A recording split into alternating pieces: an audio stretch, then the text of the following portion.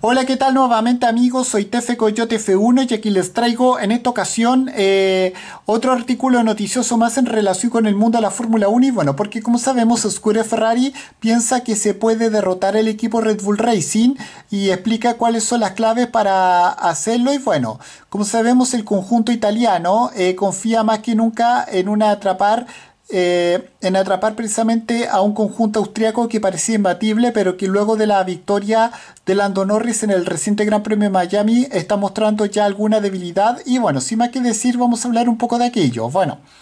Como sabemos, el Gran Premio de Miami arrojó otro haz de luz que no se esperaba a inicio de la actual temporada, viendo el dominio de Max Verstappen que cada vez parece más vulnerable. Bueno, eh, Escudería Ferrari ya fue eh, capaz de arrebatarle un triunfo al equipo Red Bull Racing en el reciente Gran Premio de Australia. Aquella vez sería eh, el español oriundo de Madrid Carlos Sainz Jr., mientras que Miami sería Lando Norris, que terminó con su mala racha de, presencia en el podio sin ninguna victoria. Bueno, eh, la temporada 2023 marcó un antes y un después no solamente en la historia de la Fórmula 1, sino que también en la reglamentación de 2022 con un total de 19, 19 victorias de parte del neerlandés Max Verstappen, sumando las dos conseguidas por Checo Pérez lograron 21 eh, triunfos en las 22 eh, competencias disputadas durante aquella temporada, eh, que podrían haber sido más si, llega, si se llega a celebrar el Gran Premio de Imola, donde no,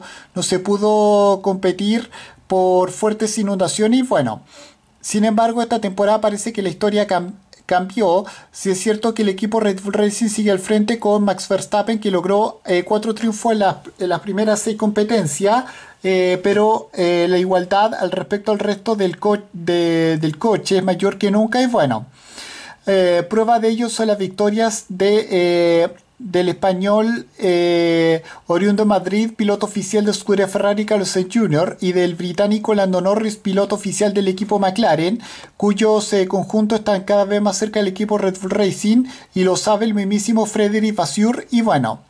Creo que Red Bull aún cuenta con una pequeña ventaja, pero nos estamos acercando. El caso es que al fin pueden sentirse presionados eh, Creo que eh, es así desde prácticamente el inicio de la temporada, dependiendo de la pista. Eso aseguraba el jefe del equipo con cuartel central domiciliado en Maranello, Frederic Basuri. Bueno, y esto aseguró para proseguir. Eh, tienen que ser más agresivos en la estrategia y ya no están en la zona cómoda del año pasado. Creo que ha habido un cambio de juegos en el manejo de la carrera. Esto es una oportunidad para nosotros porque si conseguimos dar otro pequeño paso adelante vamos a ser capaces de luchar eh, con ellos todos los fines de semana. McLaren ha traído una evolución. Eh,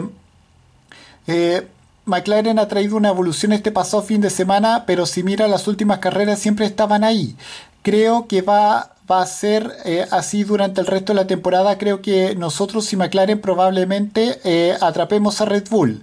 Eso aseguró para concluir el mismísimo Basuri. Bueno, es así como el jefe de escudería Ferrari eh, quiso dejar entrever que los conjuntos están cada vez más cerca del equipo Red Bull Racing, que traerá nuevas implementaciones de cara al siguiente Gran Premio de Imola, eh, pero que cada vez está sometido a una mayor presión, especialmente por eh, el británico McLaren y el italiano Escudería Ferrari. Bueno, con esto me despido, adiós, que me fuera, chao.